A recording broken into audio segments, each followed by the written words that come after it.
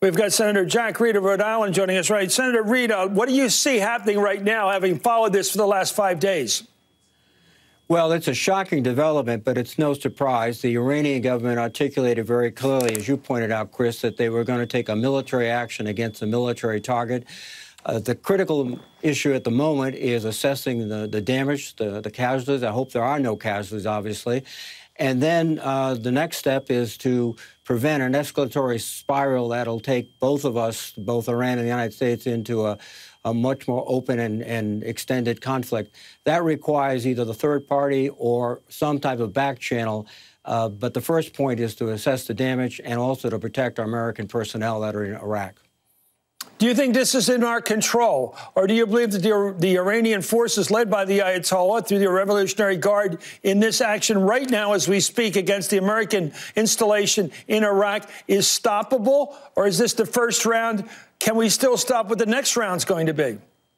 I think it's likely a, a first round. Uh, and again, I, I, think we're in this very, very dangerous and treacherous territory where events could be controlling. Uh, our decision makers rather than decision makers controlling events. Uh, we could be in a situation where uh, the administration takes a retaliatory action. That prompts even more reaction from the Iranians. Again, uh, what we have to have, and I don't perceive it at the moment, is some type of uh, understanding, some type of communication, so that we do not let this situation spiral out of control. That's a possibility at the moment, and it's a very, very dire possibility. Would you like to see the President of the United States slow this thing down and call for this to slow at this point if he can? Well, I think this, this probably, escalation process, which began five days ago?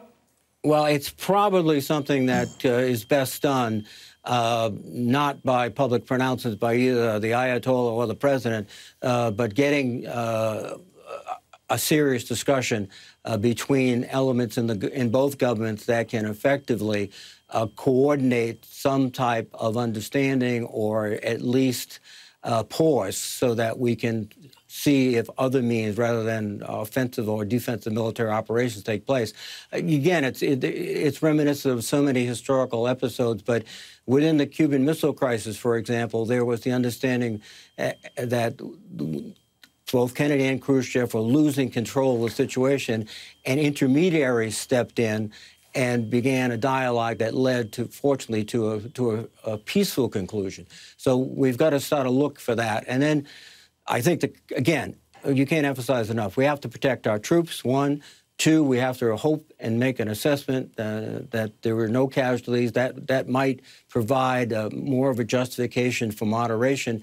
Uh, but this is a very, very difficult situation. Thank you so much, Jack Reed. Please